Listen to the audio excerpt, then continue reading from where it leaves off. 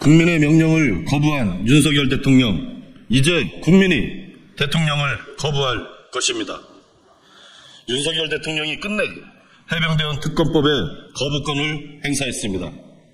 기어이 총선 민의를 거부하고 독선과 불통의 길을 계속 걷겠다고 합니다. 이제 국민이 윤석열 대통령을 거부할 것입니다. 윤석열 대통령이 거부한 것은 특검법만이 아니라 엄중한 국민의 명령입니다.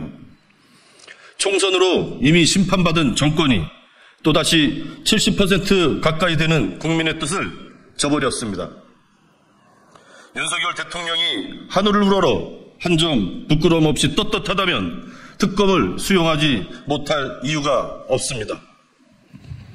윗선 외압이 실체가 밝혀질까 두려워 특검을 거부한 것입니다. 특검을 거부함으로써 스스로 범인임을 자인한 셈입니다. 윤석열 대통령과 국민의힘의 말처럼 특검을 거부하는 자가 범인입니다. 더불어민주당은 국민의 명령을 받들어 진실을 밝히기 위한 특검법 도입 노력을 단 한순간도 멈추지 않겠습니다. 21대 국회에서 재의결을 시도할 것이고 불발된다면 22대 국회가 시작하는 즉시 해병대원 특검법을 비롯하여 윤석열 대통령이 거부한 모든 법안을 재발의하겠습니다.